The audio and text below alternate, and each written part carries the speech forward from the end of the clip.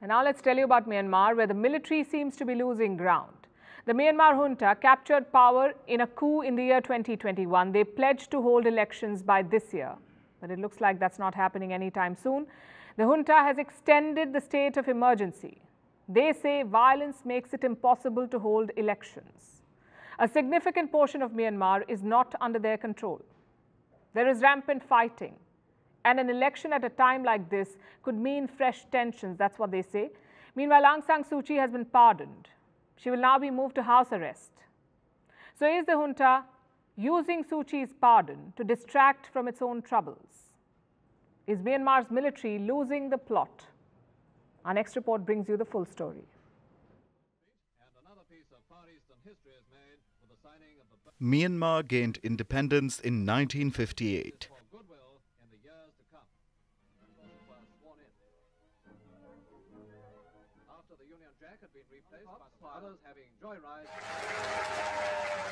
But its post independence history has never really been stable.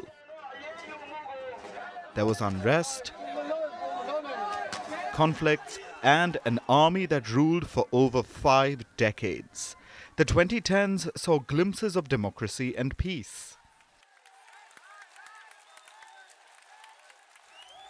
But then came the coup of 2021. Aung San Suu Kyi's National League for Democracy won the elections. They were about to take power. The NLD won nearly 80% of the seats, so a landslide victory for Suu Kyi. The army-backed proxy party won only 7% of the seats, so the military was alarmed.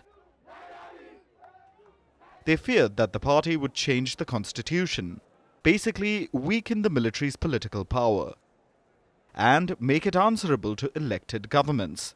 So the junta intervened. The coup plunged the Southeast Asian nation into chaos. There was widespread violence, arrests, killings as the junta launched a bloody crackdown on dissent. The coup was bloody, but the junta made one promise they said they would hold elections by August 2023. Is that happening anytime soon? By the looks of it, no. The junta have extended Myanmar's state of emergency. They say it's because of the ongoing violence. On the other hand, they have issued a partial pardon for Aung San Suu Kyi. The 78 year old faces 19 cases. Only five have been pardoned. So, a partial pardon. She's also being moved to house arrest. So basically, the junta has postponed elections, but they have also pardoned Aung San Suu Kyi. What explains this seemingly contradictory move? For many, it's just hogwash, a mere distraction from the junta's real troubles. The army may have captured power in 2021, but much of Myanmar is still out of their control.